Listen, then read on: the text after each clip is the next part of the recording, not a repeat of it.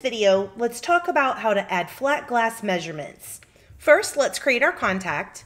And for this example, I'm just going to use a name and address, although it is best practice to get as many details about your client as possible. You can start typing in the client's address. It will auto-populate with addresses that match. Choose the one that's correct. And then you can save contact or get this drop down here and select the type of project that you'd like to create. In the measurement section, you can add measurements to and your rooms. We can list as many rooms as we'd like and just separate them by a comma. And then they will automatically populate as two rooms. To add measurements to a particular room, simply click into the room and then we can go ahead and start adding our measurements.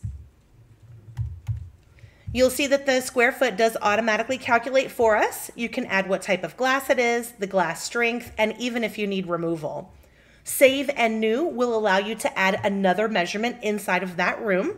Save and back will take you back so you can add another room.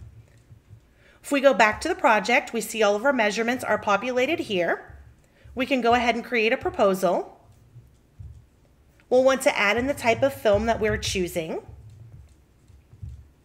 how much we're charging per square foot.